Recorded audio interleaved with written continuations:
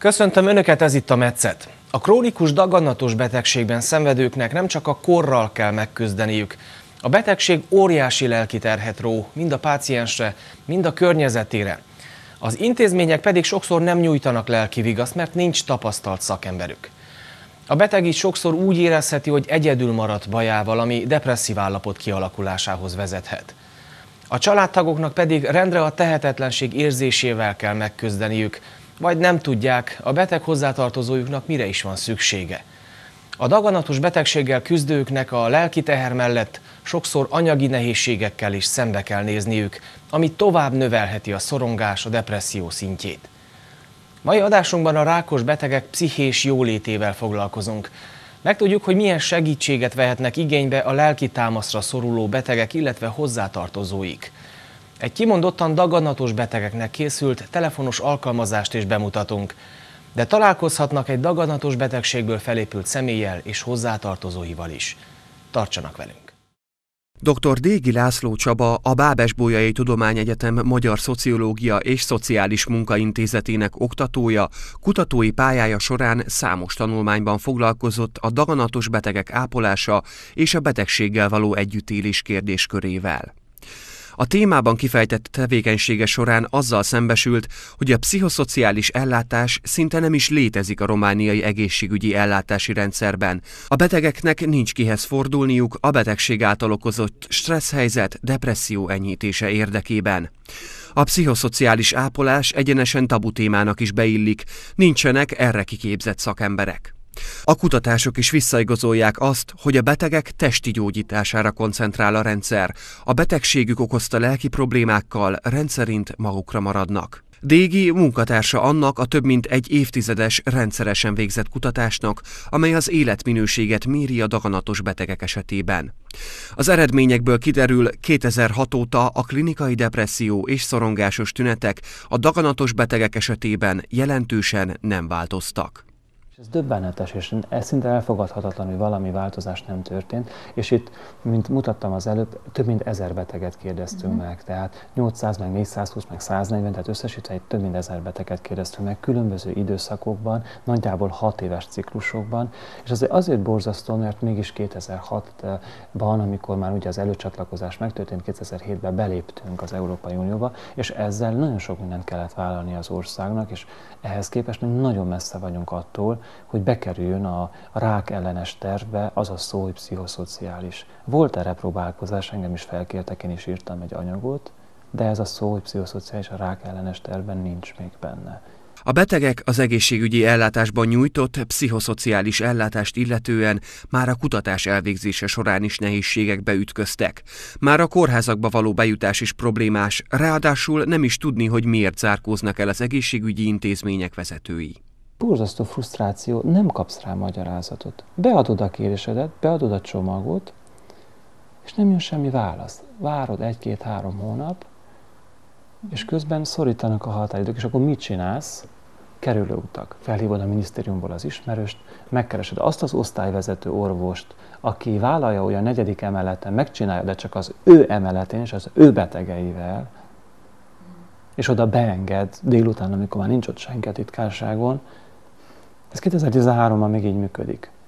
Amikor 2013-ban az, a Bukaresti onkológiai intézetben elkezdtünk kutatni, kiment a csapaton kutatni, le volt egyeztetve, odaértek, és igazgatóváltás történt, másnap kirúgták, kihajtották őket az intézetből. A betegek jogainak tiszteletben tartása terén egy évvel ezelőtt nyitott igazán nagyot az egészségügyi rendszer Romániában. Tavaly vált ugyanis lehetségesé az, hogy a betegeket képviselő etikai bizottságokba betegképviseleti alapítványok, civil szervezetek képviselői is bekerüljenek. Mára minden kórházban van ilyen testület. A betegeknek ezekhez az etikai bizottságokhoz kell fordulniuk, ha bármilyen jogsérelem éri őket. A minisztérium egy kérdőív csomagot is kibocsátott, amelyeket kitöltve három havonta kell benyújtani az egészségügyi biztosító pénztárhoz. Ez a procedúra biztosítja a kontrollmechanizmus megfelelő működését. Dégi munkatársai a bukaresti onkológián kezelt betegek érdekeit képviselik. Minden hónapban leutazik egy munkatárs ezekre a gyűlésekre, rengeteg a probléma, Rengeteg beteg feljelentést tesz, rengetegen visszakérik a pénzüket a gyógyszerre, a Bukaresti Onkológiai Intézetben. Ugyanakkor problémát, e- ezek az, ez az etikai bizottságok rettenetesen fontosak, mert ezek mérik az elégedettséget és a szolgáltatásokkal. Pszichoonkológiai vonatkozásban óriási a pótolnivaló. A Kolozsvári Egyetemen csak nemrég kezdték el ennek a részterületnek az oktatását, máshol nem is tanítják, és pszichoonkológiai akkreditáció sem szerezhető Romániában. Az itteni szakemberek többsége, majdnem 60%-a nem használ egyezményesített pszichoonkológiai szakmai protokollokat a munkájában. A legtöbb azt mondja, hogy hát elég, ha bejön hozzám, hát elbeszélgetek, én tudom, hogy hogy kell ezt csinálni egy beteggel. Ez sajnos nem elég, ezt nevezik klinikai interjúnak, ez édeskevés. Tehát itt tudni kell eszközöket használni, és egy minden normális egészségügyi rendszerben dokumentálni kell a lelki munkát is. Dégi azt is vizsgálta, hogy milyen hatással van a páciens lelki állapotára az a tény, hogy közölték-e vele pontosan milyen betegségben szenved, vagy sem. Kiderült, hogy a diagnózis elhallgatásával egyenesen arányban nő a betegek szorongása. Egyre depressziósabbak, reménytelenebbek lesznek. A diagnózis közlése még nem minden. A részletes tájékoztatás vélhetően továbbra sem kielégítő, legalábbis a kutatás adatai ezt engedik feltételezni. Ugye 2006-ban 17%-kal nem tudta a diagnózist, és ezt ilyen tükör-tükör módszertannal vizsgáltuk. Megkérdeztük az orvost is, és megkérdeztük a beteget, és akkor összevetettük, hogy mennyi a közös benne. És 2013-ban már csak 8%-a nem ismeri a diagnózist, egy nagyon pozitív változás. És hogyha igaz az, amit 2019-ben közöltem, hogy minél inkább, uh, ugye uh, azt közöltük, hogy minél inkább nem tudja, annál rosszabbul van. De hogyha igaz lenne az a feltételezés, hogy minden inkább tudja, annál jobban van, akkor hol vannak az adatok, mert a depresszió nem változott, a szorongás nem változott. És akkor az első kérdés, amit külföldön feltettek, hogy tessék megmagyarázni, hogy ez a pozitív változás mi nem tükröződik a szorongásos és a depressziós és a disztresszes tünetekbe. És hát valószínű pont ez a láncszemnek a kiesése. Ezt kutatni kell és bizonyítani kell, amit most állítok, de mi azt feltételezzük, hogy ez történik.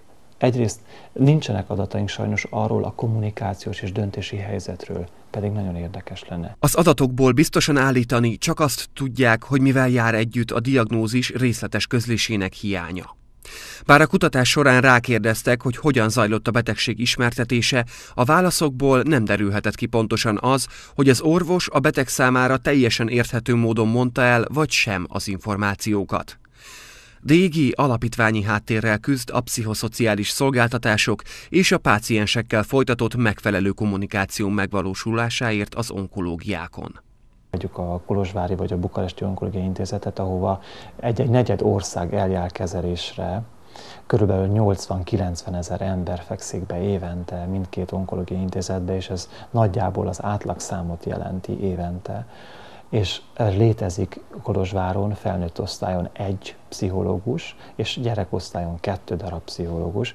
Dégi a mai napig nem tudja megmagyarázni azt, hogy miért zárkóznak el az egészségügyi intézmények a lelkitámaszt, pszichoszociális szolgáltatásokat nyújtó szakemberek elől. Ezen nagyon-nagyon sokat gondolkodunk, mert hogy én 2001-ben, amikor elkezdtem ezzel a témával foglalkozni, akkor is azzal a bizalmatlansággal találkoztam, hogy a medikális rendszer és az onkológiák különösképpen nem szeretik a nem medikálisokat és a külsősöket, és akkor én tudtam, hogy ha tenni akarok valamit, akkor harcolhatok a rendszerrel, ami lehet értelmes vagy értelmetlen, de valószínűleg beletörik a bicskám, vagy barátkozhatok azokkal a betegekkel, túlélőkkel, akik a kórházból kijöve rájöttek, hogy utána is van élet, és daganatos betegek a kórházon kívül is léteznek, és akkor szépen összebarátkoztam elsőképp a Marosvásárhelyen a közös sorsok alapítványjal, egyesülettel, akiknek az volt a dolguk, hogy azért harcoljanak, hogy a nőknek, a mell daganatos nőknek legyen valamilyen szavuk abban, hogy hogyan műtik a mell daganatukat. És én jóformán, ameddig az alapítvány, megalap, az alapítvány megalapítottuk tavaly, tavaly előtt, jóformán én végig a betegek önszerveződő csoportjaival dolgoztam, a kutatásokon kívül nekem semmilyen más kapcsolatom, élményem, belátásom nem volt, csak ezekbe a szervezetekbe és csoportokba. És amikor az alapítvány mellett döntöttünk, akkor egyrészt ez a tapasztalat jött velem, amit 2001 óta velük közösen megszereztem és megszerettem. Másrészt arra jöttem rá, hogy eh, ez az a pont, ahol be lehet lépni az orvosi rendszerbe. Ez az, ahol nyit az orvosi rendszer. A szakember szerint bár kétségtelen, hogy az onkológiákon az orvos, a kórházi lelkész, a pszichológus mind fontos szereplő a betegeknek nyújtott segítségben, azonban ez nem elég. Kellenek a szociális munkások. Nem azért, mert itt a tanszéken beszélgetünk, hanem azért, mert a legtöbb rákos beteg szembesül szociális problémákkal. El kell adja a darabka földet, el kell adják a családi vagyont, hogy kifizessék a kezelést. Leszegényednek, marginalizálódnak. Ezek szociális kérdések. Előnyugdíjaztatás, betegnyugdíjaztatás. Ezeket a szociális munkás kívülről fújja. Ezt tanítják neki az egyetemen. Nem értem, hogy um, szóval sok szempontból értem, de bizonyos szempontból nem értem, hogy ez a rendszernek miért nem kifizetődő. Hisz piszok keveset fizetnek egy szociális munkásnak, 900 lehet havonta. Tehát, hogy, hogy, hogy a, a, a, a kérdés szempontjából az rettenetesen fontos, hogy, hogy, hogy a beteg egy része azt mondja, hogy hát jó, jó hogy jött a, jött, jött a lelkész, meg ott az orvos, de attól, hogy én szem, arról, hogy én szenvedek és szorongok és ilyen nem alszok, nagyon sokszor a nővérekkel tudnak beszélni. Megdöbbentő történeteket tudok a nővérektől, hogy mennyire finom a jelzésrendszerük a nővéreknek. Egy nagyon rövid példát mondok. Éjszaka a beteg nem alszik, nem tud aludni.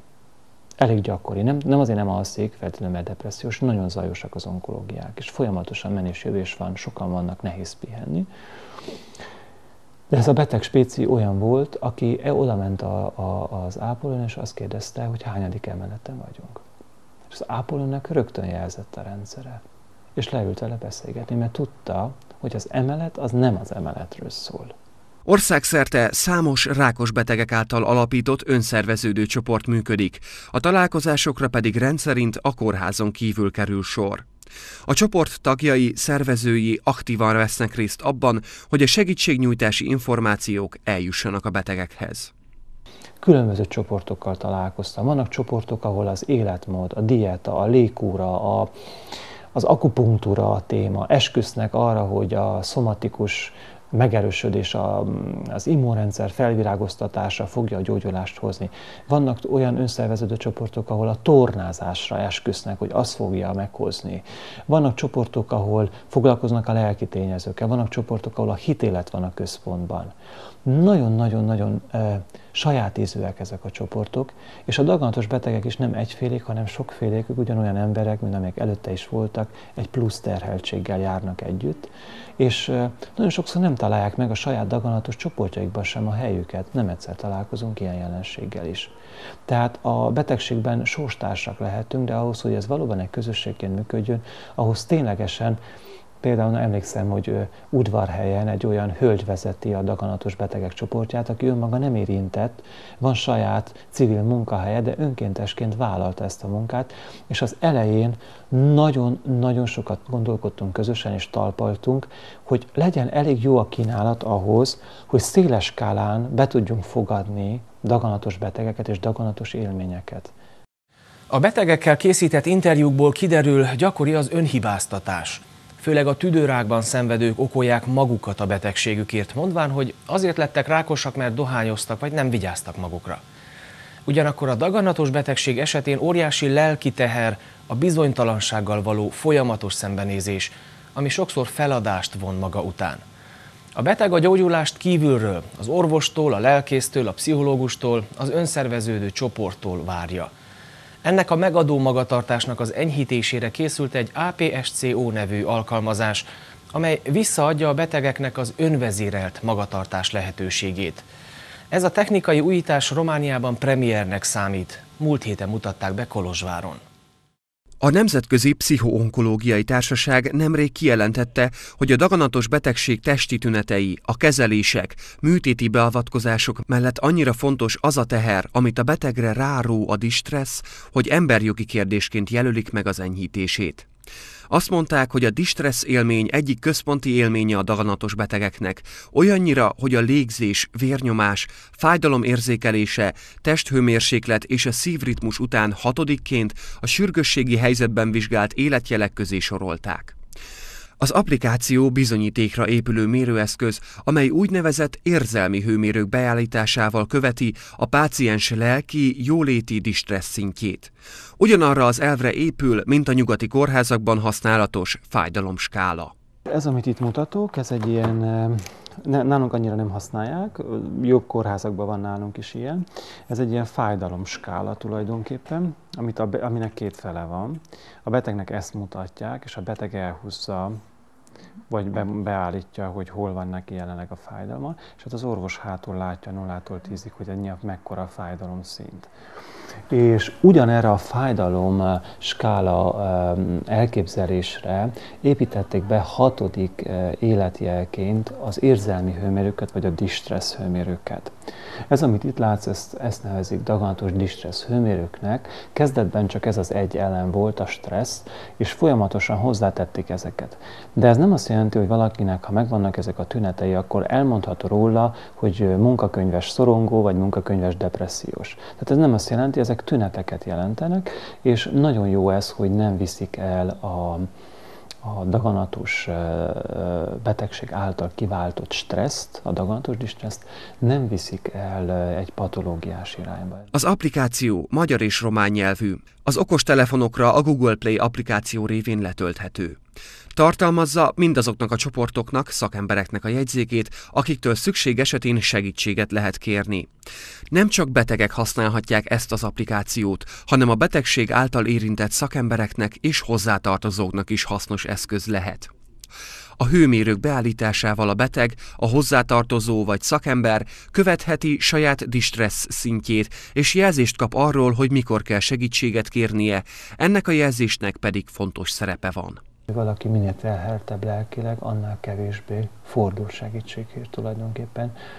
És ennek függvényében akkor mondjuk nem kér segítséget, és akkor a végén az applikáció azt mondja, hogy a jelenlegi válaszai alapján azt javasoljuk, három dolgot javasol. Az első legfontosabb dolog, amit javasol, az, hogy keressen szakmai támogatást, és akkor itt megjelenik az adatbázis, és itt mondjuk minket az érdekel, hogy Marosvásárhelyen Marosvásárhelyen milyen ilyen csoportok vannak. Maros, szükítsünk egy picit Marosvásárhely. És mondjuk Marosvásárhelyen, mint mondtam, természetesen benne vannak az állami intézmények, a szociális munkaellátók és minden, tehát nem csak kizárólag non-profit rész van benne, hanem a teljes teljes rész benne van. És akkor megjelenik mondjuk elsőként ez a közös sorsok alapítvány, és a közös sorsok alapítványnál megjelenik olyan információ, amit egyébként csak szájról szájra lehet megtudni, például a Hanus Steló vezetőnek a mobiltelefon számai amit máshonnan nincs honnan beszerezni, csak hogyha ebben a nagyon szűk kommunikációs körbe vagy benne, alapítvány kórház beteg.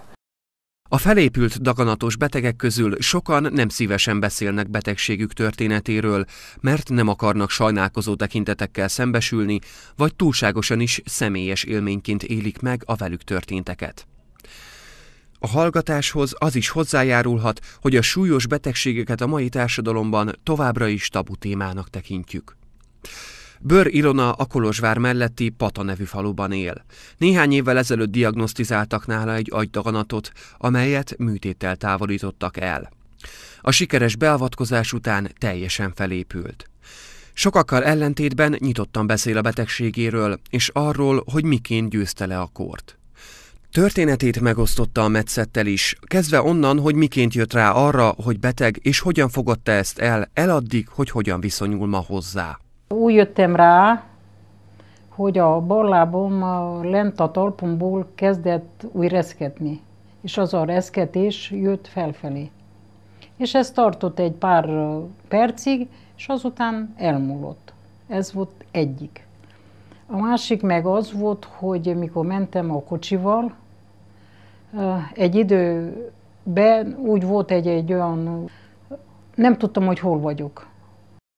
Bár nem ez volt az első alkalom, hogy észlelt bizonyos tüneteket, ekkor döntött úgy, hogy elmegy egy kivizsgálásra. Az első vizsgálatokat követően rögtön elküldték a neurológushoz tomográfiára, mágneses rezonancia vizsgálatra, az eredmények pedig kimutattak egy narancsméretű agytakanatot. Az orvos közölte, hogy nincs más választás, muszáj műteni. Azt mondták, hogy meg kell operálni, akkor én aztán nyugodt voltam, hogy mondjam, hogy nem, nem féltem. Nem féltem egy kicsit sem. És elmentem, és megoperáltak. És minden nagyon jó volt, nagyon jó doktor kezébe kerültem. Családtagjai nem kezelték ilyen higgadtan a problémát. Környezete bíztatta, hogy ne féljen, azonban végül ő volt az, aki nyugalomra intette őket. Elmondta, a műtét után sokkal jobban lett, és szinte nem is változott meg az élete, azt leszámítva, hogy az orvosok eltiltották a fizikai munkától. Nem volt szabad, hogy emeljek, hajuljak, nem volt szabad a napon üljek, ezeket mind betartottam egy évig szigorúan, és aztán a Isten megsegített, és, és jobban lettem. Vannak azért ilyen gondolataim, hogy visszajöhet a betegség, de megyek minden évben, és megcsinálom azt a vizsgálatot, a réménét, ahogy mondják, és még hála Istennek mostanig nem, nem jött vissza. De minden zajlik az ő maga útján, nem. Csak egy annyival más az életem, hogy kell ügyeljek magamra, azt tudom. Mert ha nem ügyelek, akkor, akkor nekem rosszabb, és a lettem valóknak megint kell ügyeljenek ők rám. Úgyhogy én muszáj ügyeljek magamra. Bőr Ilona úgy gondolja, a félelem ront a helyzeten, ezért szerinte nagyon fontos volt számára úgy elmenni a műtétre, hogy bízott az orvosban, és hitt abban, hogy minden jól alakul. Azonban családtagjainak már nem volt olyan egyszerű megbirkózni a problémával. Férjének, Bőr Ferencnek az életveszély elmúltával sem volt könnyű felidézni a kritikus pillanatokat. Voltam én a kórháznál mikor megoperáltak rögtön verse. Megijedtem, de nagyon lassan beszélt. Nem volt szava, mit tudom én, hogy nehezen ment a beszéd. Aztán akkor megijedtem én jobban. Mit csináljunk? Így. Amikor hazajöttem, akkor már bátra Akkor erre jött a dolog. Megnyugodtam egy kicsit.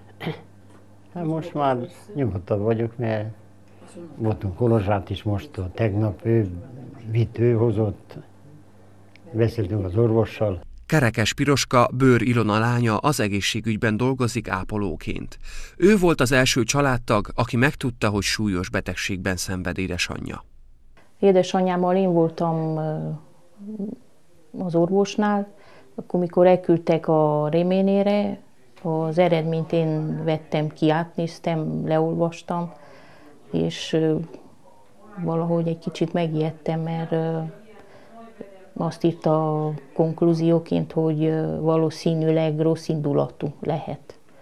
Na de felmentünk az orvoshoz, ő mikor leolvasta a CD-t, megnyugtatott, hogy nem rossz indulatú a daganat, és meg lehet operálni. Akkor nagyon megkönnyebbültem, örventem, hogy csak bíztam abba, hogy nem lesz semmi baj. Kedves nézőink, ez volt a mai metszet. A rákos megbetegedés jelen pillanatban az egyik leggyakrabban előforduló kor. Romániában különösen gyakori a méhnyakrák előfordulása, egy olyan típusú rákos megbetegedésé, amely korai stádiumban nagyon jól kezelhető. Egy igen egyszerű teszt révén, a HPV szűréssel jól felismerhető a megbetegedési rizikó, és az idejében érkező kezeléssel teljesen felépülhet a beteg. A tesztet évente ajánlott megismételni. Országos szűrőprogram is létezik, mégis igen kevesen élnek ezzel a lehetőséggel. A teszt iránt a családorvosi rendelőkben érdemes érdeklődni. A jövő heti műsorunkban azonban nem erről lesz szó. Válaszútra látogatunk, ahol egy európai programmal ismerkedhetünk meg, amely a helyi népi kézművességet támogatja. Tartsanak velünk a jövő héten is, addig kollégáim nevében is. Köszönöm figyelmüket, viszontlátásra!